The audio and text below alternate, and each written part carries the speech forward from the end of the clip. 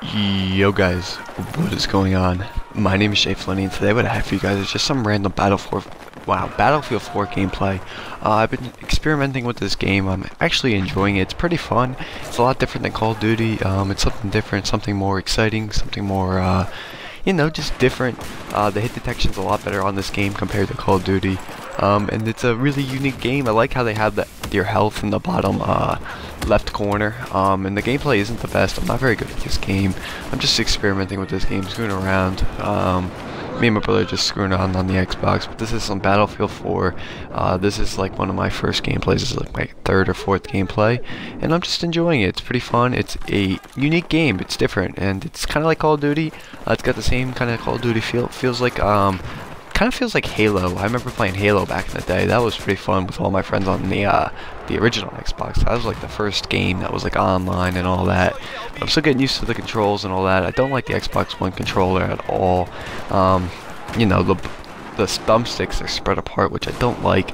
I like it when the thumbsticks are uh, together on the PS3. Um, that's what I really do enjoy. But this gameplay is just an average gameplay. I'm going to try to post out some more gameplay from this game. If you guys do enjoy some Battlefield 4, please let me know and I will post some more of it. It's good to uh, variety.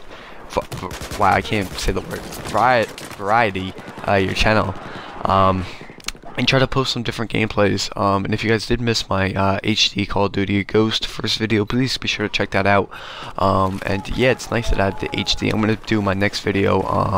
Pretty much just a review of Xbox One. What do I think about Xbox One, and um, if it's worth your buy, um, and letting you guys know maybe how the recording system works. Um, it'd be pretty cool to share with you guys. I bet some of you people are interesting uh, who is actually might purchase the Xbox One. But uh, yeah guys, I'm just experimenting with this. Hopefully, my mic did sound good in the first video. This is just a regular mic that comes with the Xbox One. Um, and it does sound pretty good to be actually honest. I thought it was going to not sound this well. But everything is turning out pretty well. The way it uploads pretty cool. Um, it's not too difficult. And I feel like I'm doing YouTube professionally now. So expect some more videos, a lot more uh, quality videos. I'm going to try to really go hard on YouTube. I just started uh, classes again. Uh, my semester started the 22nd of January. So um, yeah, it's gonna be another tough semester, but I'm gonna have some free time to uh, try to do some YouTube for you guys. And uh, yeah, here I switch over to a different gun. I kind of like this gun a little bit better.